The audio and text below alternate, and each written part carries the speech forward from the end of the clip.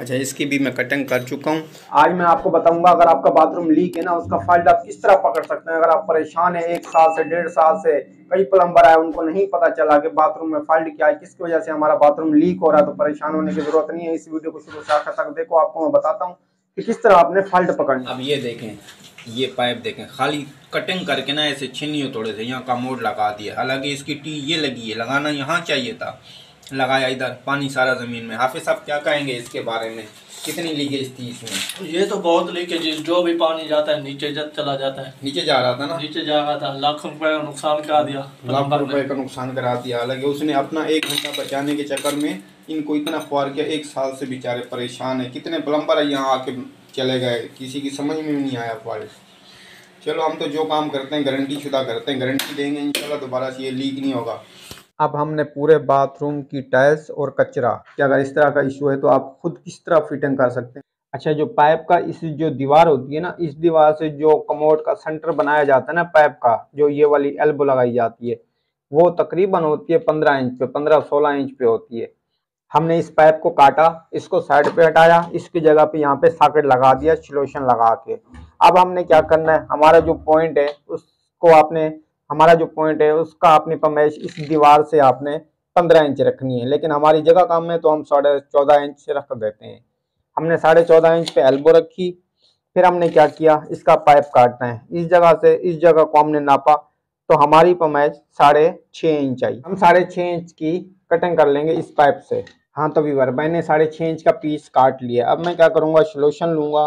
और इस पाइप के ऊपर मैं सोल्यूशन लगा दूँगा। हमारे दो कनेक्शन थे तो इसीलिए हमने ये सोल्यूशन इस्तेमाल किया है, ये लिया है। लेकिन अगर आपने लगाना है, आपके पास बड़ा काम है तो आपने ई जेड का सोल्यूशन लेना है, ये वाला नहीं लेना।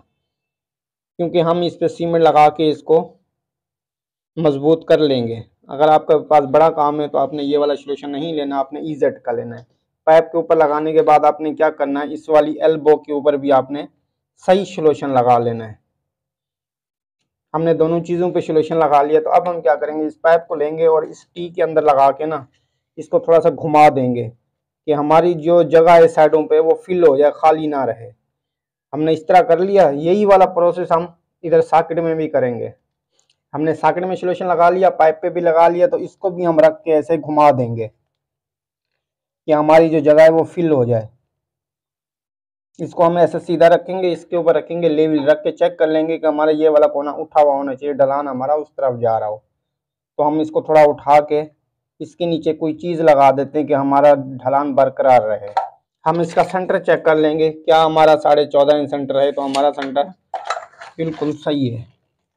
अच्छा इसके आगे हमें लगाना है चीनी का लोटा, क्योंकि हमारे पास जगह की कमी है तो इसलिए अब हम चीनी का लोटा लगा के इसके पानी का ढलान इसमें देंगे।